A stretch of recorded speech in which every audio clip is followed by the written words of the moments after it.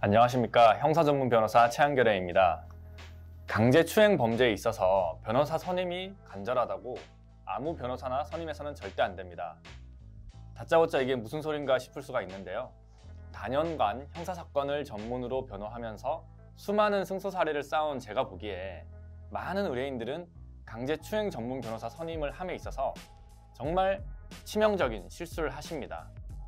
강제추행죄는 어떻게 처벌되냐면 10년 이하의 징역 또는 1,500만 원 이하의 벌금으로 선고가 가능한데요.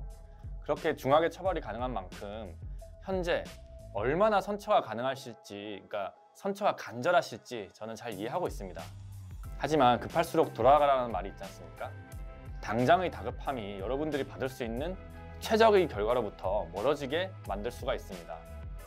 여러분들에게 어떻게 해야 현명하게 강제추행 전문 변호사를 선임할 수 있는지 제가 사실만을 공유하도록 하겠습니다.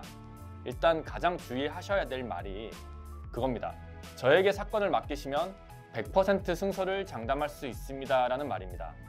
많은 의뢰인분들이 범하는 오류 중에 하나가 바로 승소를 장담하는 변호사가 정말 진정으로 사건 해결 능력이 있다라고 착각하시는 겁니다. 하지만 빠르게 깨우쳐야 하는 게 있는데요. 형사사건에서 100%라는 퍼센테이지는 절대로 존재할 수 없는 수치입니다. 같은 사건이라도 요구되는 전략이 다르고 굉장히 세부적인 요인 하나만으로도 판결 자체가 완전히 뒤바뀌기도 합니다. 무엇보다도 뚜껑을 열어보, 뚜껑을 열어보기 전까지는 모른다라는 말이 있습니다. 형사사건도 마찬가지입니다. 아직 사건에 대한 법리적인 분석이라든지 판단이 전혀 되지 않은 상황에서 초기 상담을 받으러 온 의뢰인에게 승소를 100% 장담하는 것은 그저 사건을 수임하겠다 그런 거에만 집중하고 있음을 단적으로 나타나는 태도입니다. 저는 사건을 수행할 때 해결하는 과정에서 우리 의뢰인이 분리할 수 있는 부분까지 모두 가감없이 의뢰인에게 공유를 합니다.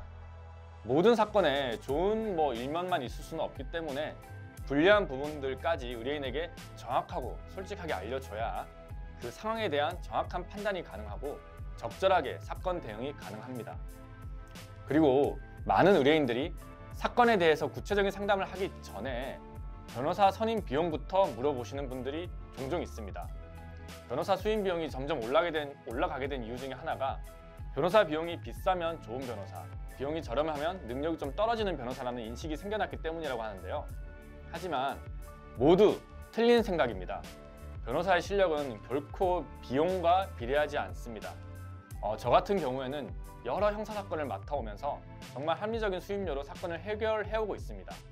그럼에도 지금껏 수백 건의 형사 사건을 좋은 결과로 이끌어 왔습니다. 그렇기 때문에 형사 전문 변호사로서 활동을 이어올 수가 있었, 던 것입니다.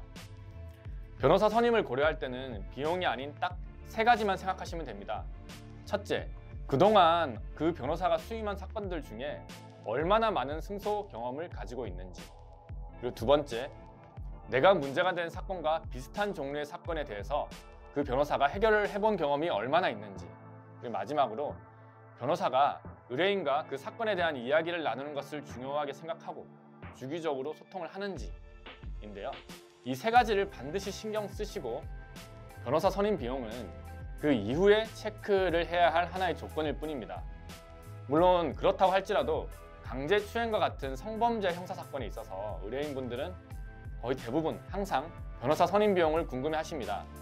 변호사 선임 비용은 일률적으로 정해져 있지 않습니다. 사건의 난이도나 실제 진행 상황, 사안의 내용에 따라 유동적으로 다르게 책정이 되고 있는 실정입니다.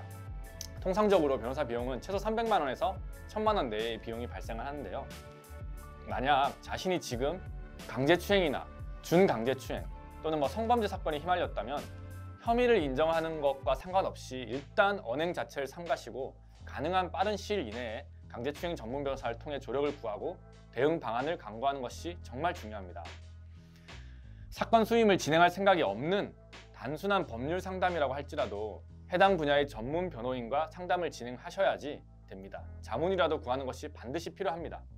성범죄 사건의 가장 무서운 점은 어, 형사처벌 또는 뭐 선고형도 두려워 해야 하지만 그 뒤에 따르는 신상정보 등록이라든지 신상정보 공개, 뭐 취업 제한 등 보안 처분이라고 할 수 있습니다. 한순간의 실수로 뭐 짧게는 몇 년, 길게는 몇십 년 동안 성범죄자로서 이 사회에서 살아가야 할 수도 있는 상황이기 때문에 성범죄 사건은 다른 형사 사건보다 치밀하고 면밀한 대응이 정말 필요합니다. 의뢰인의 사건을 분석하고 양형에 필요한 사례를 파악하고 혹시나 있을 불리한 요소에 대한 대응을 하는 데 있어서 관련 증빙 자료를 수집하는 데 상당한, 상당한 시간을 소비해야 합니다. 또한 어, 입회 보장제도 실시를 통해서 경찰 조사나 검찰 조사 등에 100% 동행합니다. 그리고 형사 사건에 있어서 최선의 결과를 내는 데 있어서 가장 중요한 수사기관에서의 진술함에 있어 불리함이 없도록 최대한의 신경을 쓰고 있습니다. 형제 성범죄에 연루되어 대책을 강구하고 계신 상황이라면 저에게 연락을 주시기 바랍니다. 의뢰인의 사항에 맞는 법률 솔루션을 제가 제공해 드리겠습니다. 지금까지 형사전문 변호사 최한결이었습니다. 감사합니다.